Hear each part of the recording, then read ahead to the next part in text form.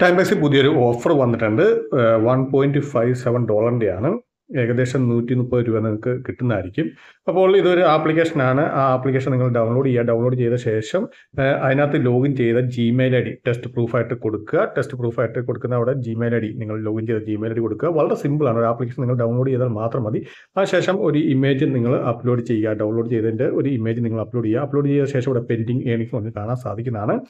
അതുപോലെ ഇതിനകത്ത് ഒരുപാട് ഓഫേഴ്സ് അല്ല ടാസ്കുകൾ ഇതിനകത്ത് വന്നിട്ടുണ്ട്. ഇപ്പോൾ നിങ്ങൾ നോക്കിക്കഴിഞ്ഞാൽ കാണാൻ സാധിക്കുന്ന ടെലിഗ്രാമിന്റെ അകത്ത് ജോയിൻ ചെയ്യുക ഗ്രൂപ്പിനകത്ത് ജോയിൻ ചെയ്യുക അല്ലെങ്കിൽ ട്വിറ്ററിനകത്ത് അവരുടെ ഫോളോ ചെയ്യുക. അങ്ങനെ ഒരുപാട് ടാസ്കുകൾ ഇതിനകത്ത് കിടപ്പുണ്ട്. അതൊക്കെ നിങ്ങൾക്ക് ചെയ്യാൻ പറ്റുന്ന ടാസ്കുകളാണ് നോക്കുക. പുതിയ പുതിയ ടാസ്കുകൾ വരുന്നതായിരിക്കും.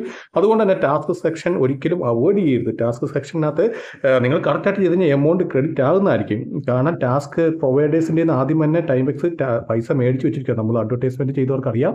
നേരത്തെ തന്നെ പൈസ മേടിച്ച് വെച്ചിരിക്കുക അപ്പോൾ ടാസ്ക് നിങ്ങൾ കറക്റ്റായിട്ട് ചെയ്ത് കഴിഞ്ഞാൽ അത് തന്നേ പറ്റുള്ളൂ. അത് തരാതിരിക്കാനുള്ള ഒരു ഓപ്ഷൻ ഇല്ല. ഒന്നില്ലെങ്കിൽ നിങ്ങൾ കറക്റ്റായിട്ട് ചെയ്തില്ലെങ്കിൽ അത് റിജക്റ്റ് ആവും. കറക്റ്റായിട്ട് ചെയ്ത് കഴിഞ്ഞാൽ നിങ്ങൾക്ക് അതിന്റെ പേയ്മെന്റ് കിട്ടുന്നതായിരിക്കും. ഇതുപോലെ ഒരുപാട് ഓഫേഴ്സ് ഇതുണ്ട്.